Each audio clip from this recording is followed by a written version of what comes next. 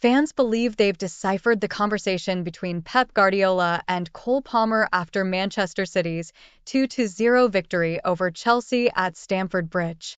The two were seen deep in discussion at full time, with Guardiola even placing an arm around Palmer, who left City last summer for £42.5 million. Palmer has since had an impressive year at Chelsea and recently signed a two-year extension, keeping him at Stamford Bridge until 2033. Chelsea's acquisition of Palmer was considered a major coup, as he is seen as one of England's brightest young talents. Some fans speculate that Guardiola might regret letting Palmer go, while others have different interpretations. One fan on X, formerly Twitter, suggested He's apologizing for letting him leave but wants him back. Another imagined Guardiola telling Palmer, You should have stayed at City. Your talent doesn't deserve to be wasted at Chelsea. Others joked that Palmer might have asked Guardiola if he could return after Julian Alvarez's £81 million move to Atletico Madrid, with one fan humorously guessing Palmer's words, You've got the Alvarez money. Can I come back, please?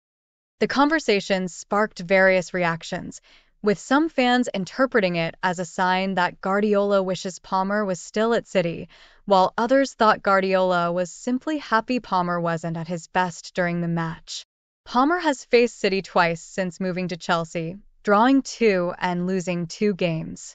Meanwhile, Manchester City continued their dominant form, winning 20 of their last 24 Premier League games, building on their success from the previous season when they secured their fourth consecutive title.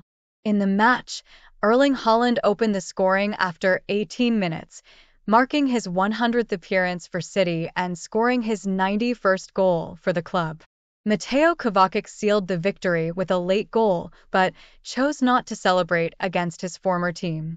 Chelsea showed some promising moments, with Nicolas Jackson nearly equalizing before his goal was ruled out for offside. The match was also notable for Raheem Sterling's absence. Mail Sport reported that Sterling is seeking clarity about his future at Chelsea despite being included in the club's pre-match material. A statement from Sterling's camp emphasized his commitment to Chelsea and his desire to have a positive start to the season, expressing the expectation that he would have been involved in the weekend's fixture.